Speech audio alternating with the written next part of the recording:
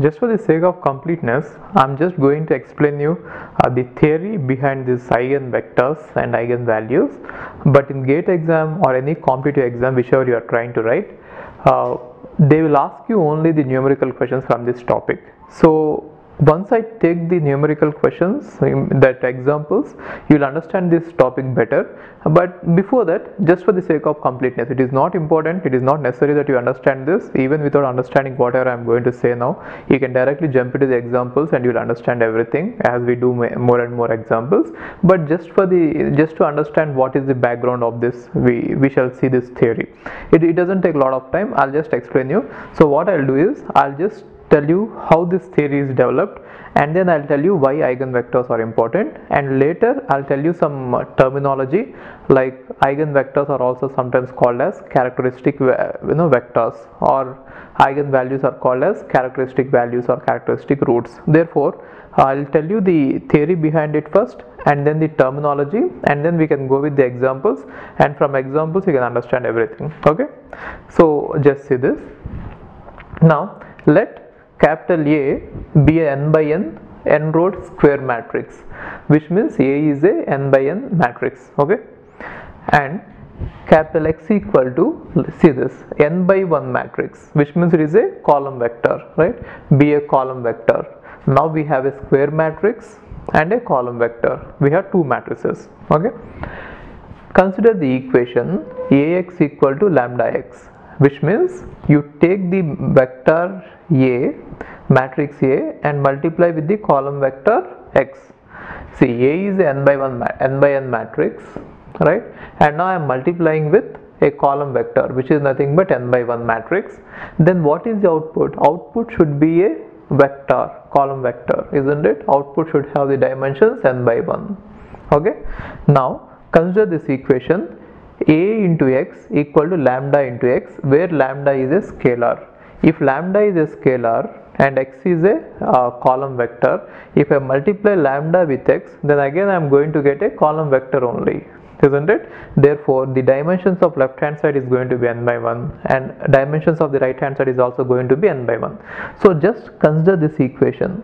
If you can find such a value of x and such a value of lambda then what we can say is this entire matrix A can be somehow represented with this uh, simple uh, simple uh, you know um, value lambda that is the meaning of it.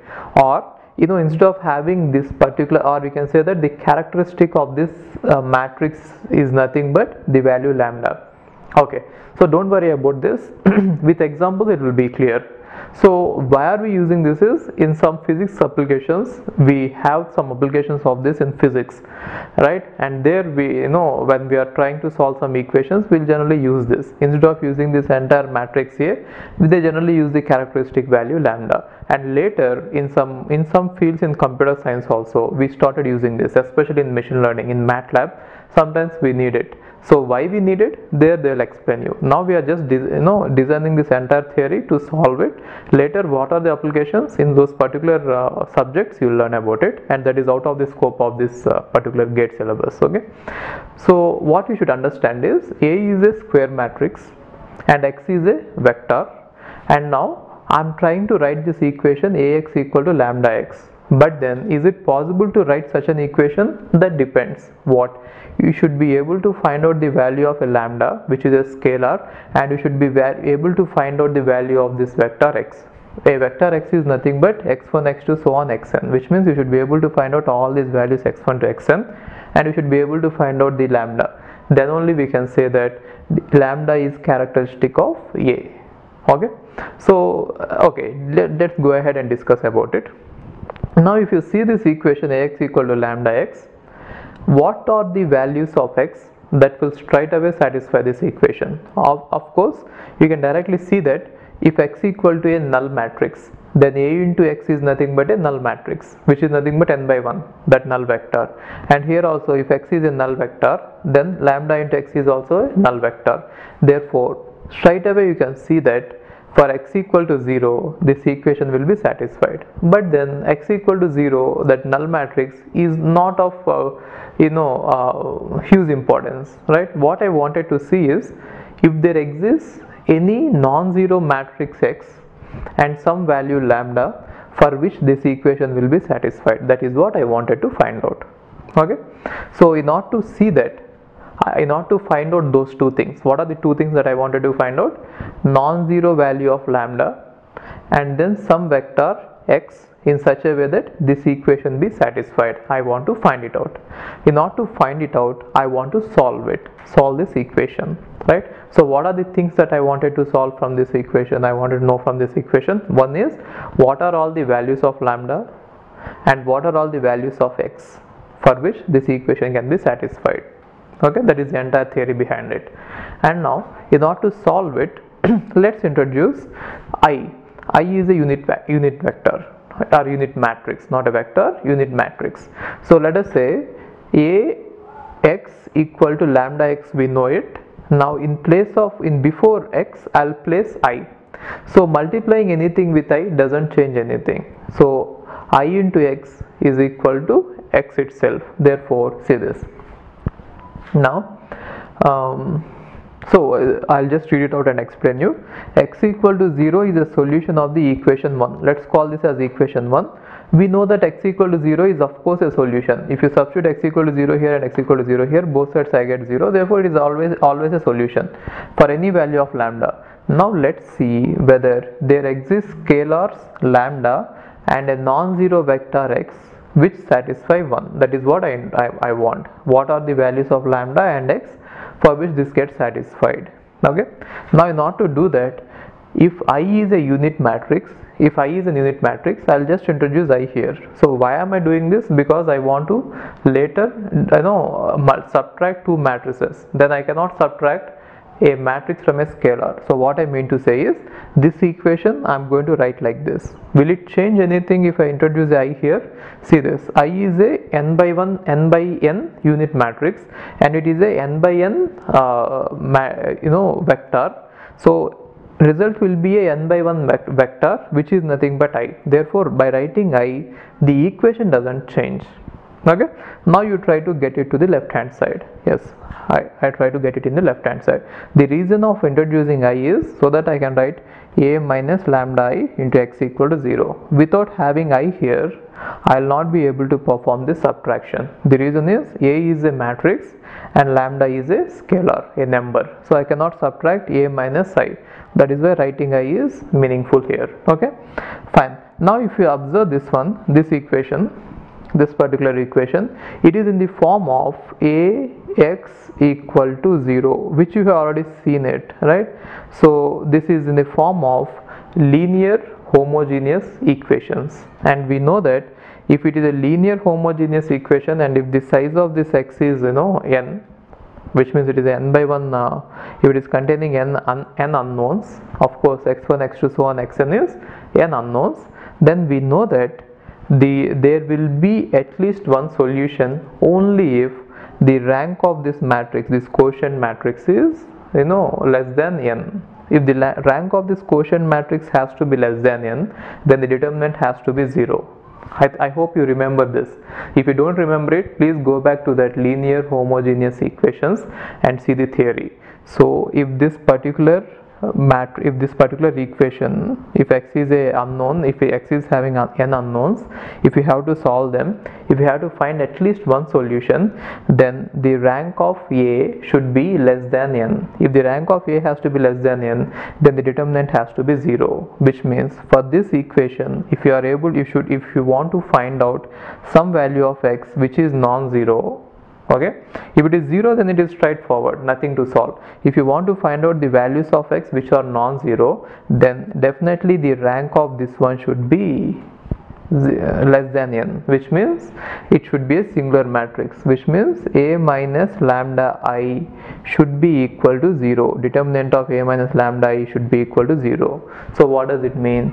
We are supposed to find out the values of lambda for which this equation the determinant of this matrix A minus lambda i should be equal to 0 then for those values of lambda we can find out the corresponding values of x. Okay? So I don't know if you understood this entire theory but even if you don't understand the entire theory just remember that this particular equation is important. This is this is where this is from where we are going to derive the eigenvalues. So given any matrix A we are going to write this one and then we are going to derive eigenvalues. And from those eigenvalues eigenvalues are nothing but the values of lambda. And from those eigenvalues we are going to get the eigenvectors. Eigenvectors are nothing but the values of x. For a corresponding lambda we are going to get a x. So this these points will be clear once I get into the problem. So this is the background. Even if you don't understand it leave it. Next I'll tell you about the terminology that is interesting and important you just note down the terminology and later with every example all these concepts will be clear. Okay? So now let's move on to uh, this is important okay? This is important. Now I'll take this one and I'll explain you what are the terminologies that we use while discussing the problems related to this concept. Okay? Fine. Now let's see more about the terminology. The matrix A minus lambda i. If A is the matrix then A minus lambda i is also a matrix isn't it? The matrix A minus lambda i is called the characteristic matrix of A. Why? Because it plays an important role in finding out the eigenvectors or eigenvalues. Therefore A minus lambda i which is acting as a quotient matrix earlier if you observe this A minus lambda i into x equal to 0 that is what we have taken therefore A minus lambda is acting as the quotient matrix. So a minus lambda i is also called as the characteristic matrix of A. Remember this, this terminology is important, okay? Where I is the unit matrix of order n. Then once you find out the characteristic matrix, if you find out the determinant of that characteristic matrix, so A minus lambda i, if A minus lambda i is the determinant of this characteristic matrix A minus lambda i, that, okay, like this, it is nothing but it is the equation in lambda. And also you can find out that it is an equation of order n. So is an ordinary polynomial in lambda of degree n. So it is not an equation it is expression polynomial. It is a polynomial of degree n. So in examples it will be clear. So even if you don't understand it here don't worry in examples it will be clear. Is called characteristic polynomial of A which means if you take the characteristic matrix and if you find out its determinant then the determinant is nothing but a polynomial of order n and that is called as characteristic polynomial of A. Okay? And if you try to equate that polynomial to 0 like determinant of a minus lambda equal to 0 then it is called as characteristic equation of A so this is also called as characteristic equation. Why? Because from that equation we can find out the values of lambda. Now roots of this equation roots of this equation which equation? Characteristic equation. Det of a minus lambda equal to 0 see this entire concept lies in solving this equation. Det of a minus lambda equal to 0 the roots of this equation are called the characteristic roots or characteristic values or eigenvalues or latent values or proper values of the matrix. These are all the names. So don't get confused. All of these names actually represent the same concept. What is it? The roots of this equation are called the characteristic roots or characteristic values or eigenvalues or latent values or proper values of the matrix A. The set of the eigenvalues is called as spectrum of A. Okay, so what I mean to say is if A is an n by n matrix and if you try to solve this equation, this particular polynomial, this A minus lambda i turns out to be a polynomial of degree n. Now if you try to solve this polynomial, if you try to solve this equation, then you are going to get n values for lambda. Okay. Therefore, all those values put together will be called as the spectrum. Okay. So that is not of uh, much interest here. So what will be interesting is once you find out the values of lambda, we are supposed to find out the values of x if you remember the value x x is nothing but we have this ax equal to lambda x isn't it? So after finding out the value of the lambda substitute the value of lambda in this equation and a is already given. Now we are going to substitute the value of lambda. Then we are supposed to find out the value of x. Now this entire question boils down to the same same question of finding out the uh, linear uh, homogeneous equations. Okay? The same thing will happen here fine. So now this is how this, we are going to find out the value eigenvalues. Once you find out the eigenvalues then we have to find out the eigenvectors. What is eigenvector is see this if lambda is a characteristic root of n by n matrix A what does it mean if lambda is one of the eigenvalues? How many eigenvalues will be there? If this is a equation of degree n then of course we are going to have n, n, n values for lambda. Therefore we are going to have n eigenvalues isn't it? If lambda is a characteristic root of n by n matrix A then a non-zero vector x such that ax equal to lambda x. See this now if lambda if you found out the eigenvalue to be lambda then you try to substitute the value of lambda in this equation from this equation you can solve the value of x okay then that particular value of x is called characteristic value or characteristic vector characteristic Hi, if you are planning to do masters, then doing masters abroad is better than doing masters in India. I'll give you all the reasons. So, first reason is out of 1 lakh students who take GATE every year, there are only 500 seats in old IITs. So, all the IITs put together have an acceptance rate of 0.5%, and IITs universities better than IITs, they have very good acceptance rate like 30%, 40%. But all the IITs put together have an acceptance rate of 0.5%. And if you are working hard to get into IIT Bombay, IIT Bombay's ranking is 177 and IIT Roorkee's ranking is 400. If you are happy to get into IIT Roorkee, then getting into universities better than IIT Roorkee is easier compared to getting into IIT Roorkee.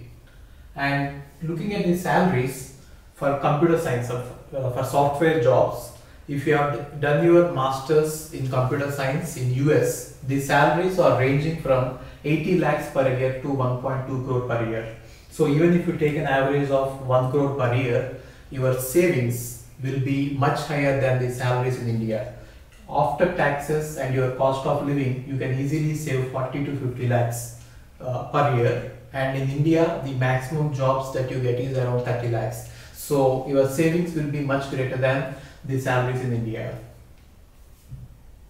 And these are all the services that we provide. University shortlisting. So depending on your profile, we will shortlist what are the universities that you have to apply and statement of purpose building and then LOR guidance and GRE and English test assistance and education loan assistance. So you don't have to have any collateral which, which means without any security now you can get education loan getting education loan is very simple these days and whatever the amount fee the amount of uh, fee that you have you have a range of uh, universities you can apply for 10 lakh universities 20 lakh universities or 50 lakh universities but whatever it is you are going to get complete education loan and you can pay off your education loan in one year after you getting it after you get a job and then we do visa assistance, mock visa interviews, and then connecting with the university alumni.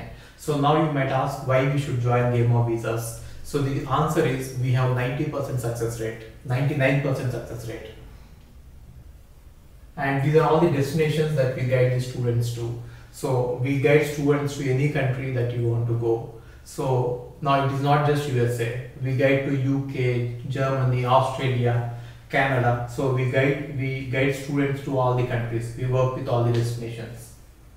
And if you are interested in going abroad, you have to just drop us a message on this WhatsApp number 9494 Okay, thank you.